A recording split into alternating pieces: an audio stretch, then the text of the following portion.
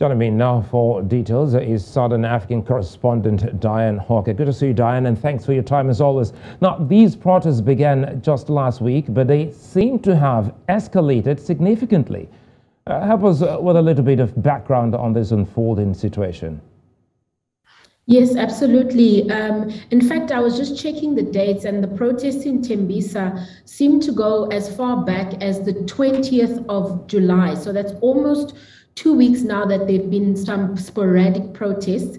The um, residents in the area have mainly been complaining over uh, power outages and high electricity pricing. Their main issue has been similar to that that we've seen in Soweto, where people have complained that um, they have been switched off, their power has been switched off for longer periods of time, longer than the usual two or four hours of load shedding. Um, Eskom, um, in some instances, has explained this as load reduction, saying that in some areas it's affecting load reduction um, because it is, is trying to kind of redu reduce um, the supply to areas that it believes has some illegal connections.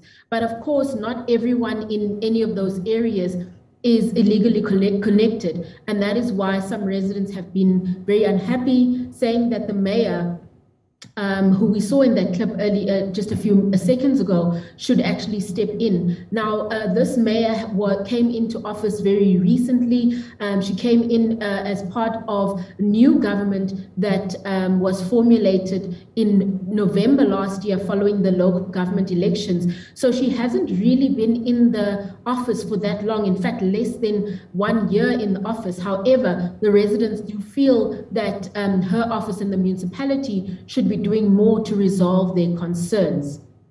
Well, as uh, the community uh, fights that, we also understand that the neighborhood of Tembisa was shot today, and uh, we heard that uh, some looting occurred. Uh, any details of this? Well, I think that it's, you know, the, a usual occurrence when there might be a